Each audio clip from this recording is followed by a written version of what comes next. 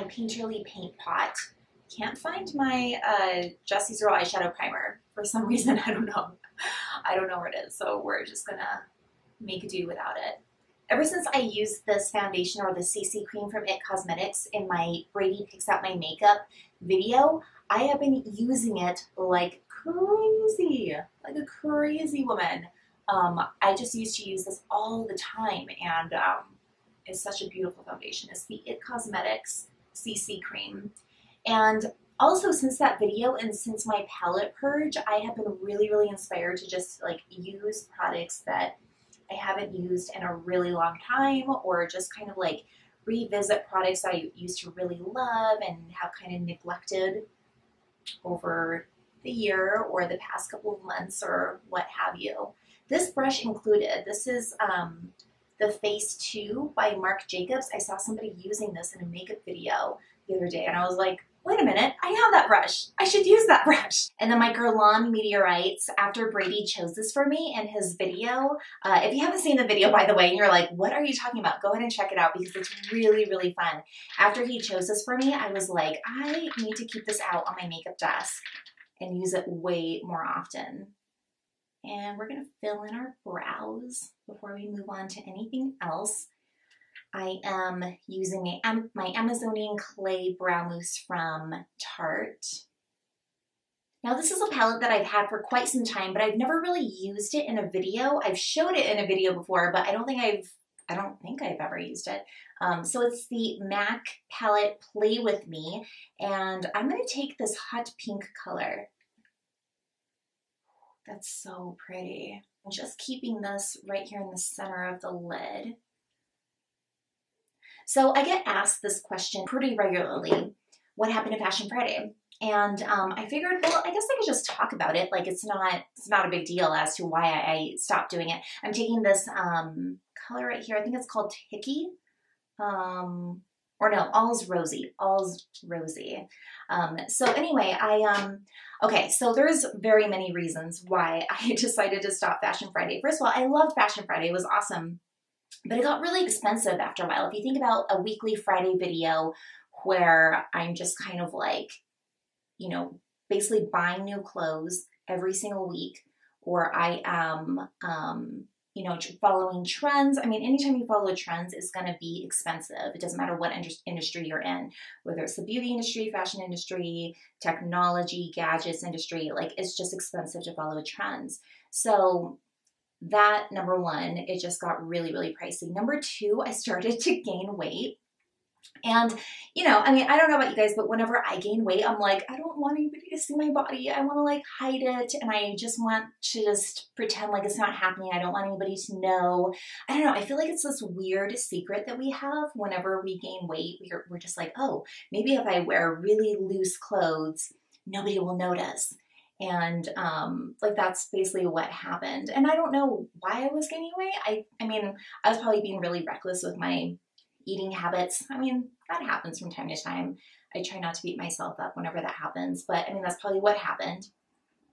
So in combination of you know trying to come up with new ideas new concepts new trendy stuff staying on top of the trends buying stuff constantly um, it just kind of got a little bit overwhelming. And uh, I think when things get overwhelming, um, it's just not as fun anymore. And when I decided to stop doing it, I'm gonna take a little bit of shortcut right here. This is from the uh, shortcut palette, from the Urban Decay shortcut palette.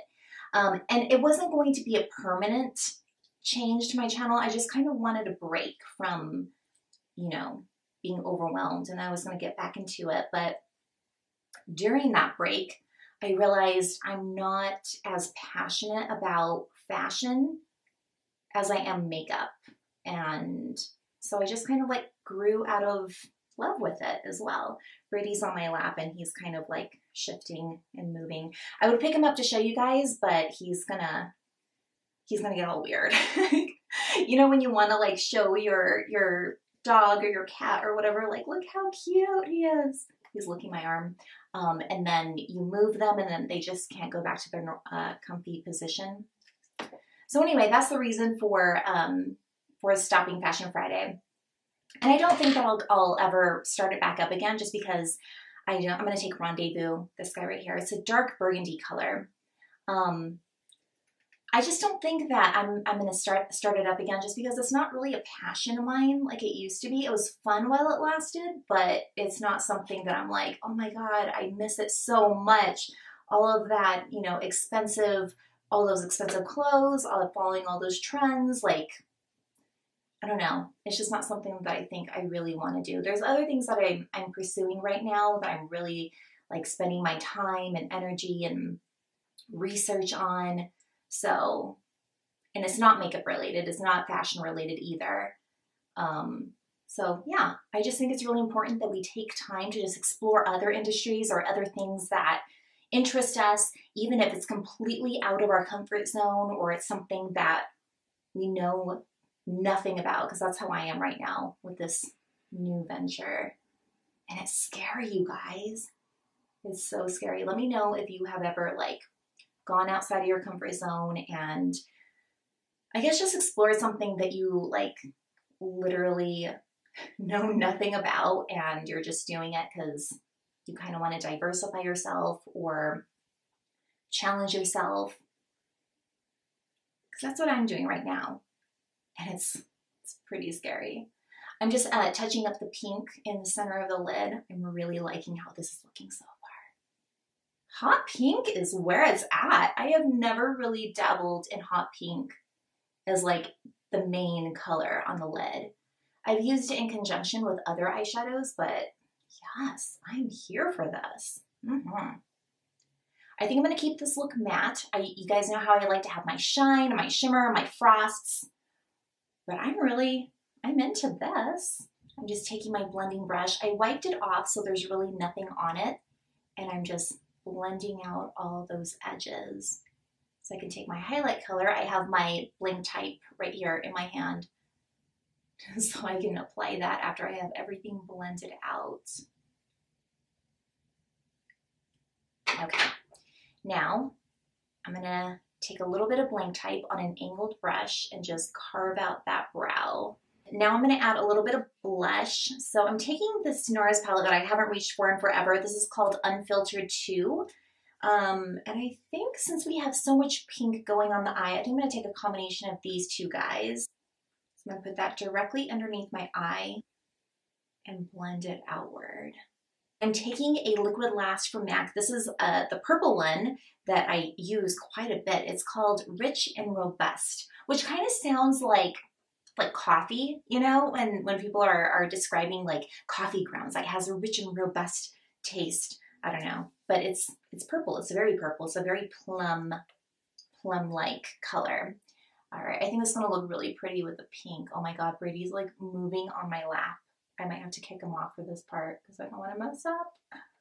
I think that looks so good with the pink. I'm not sure if you'll be able to see it unless you're like super up close, that's okay. Oh my god, he's licking my arm. I may, Brittany, I might have to kick you off because you're moving me. I'm gonna go back to the All's Rosy color right here. And we're gonna smudge this on our lower lash line. I'm gonna stay away from putting pink on my lower lash line just because that will look like my eyes irritated or like like I've been crying. I love nylon so much and it's a very, very frosty off-white color. If you don't have nylon, um, you can use any frosty highlight color that you have. And I'm just gonna load that up right down here.